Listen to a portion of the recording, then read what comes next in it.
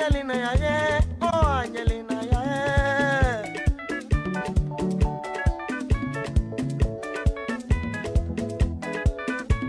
I marry you, you there for my house, you there cook for me. Now what do you do?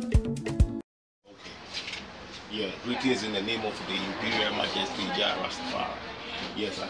So this is uh, Kingi Drums and Craft Shop, and as you can see, never lost. You know, it's an ancient things from our forefathers, and that is what they left for us.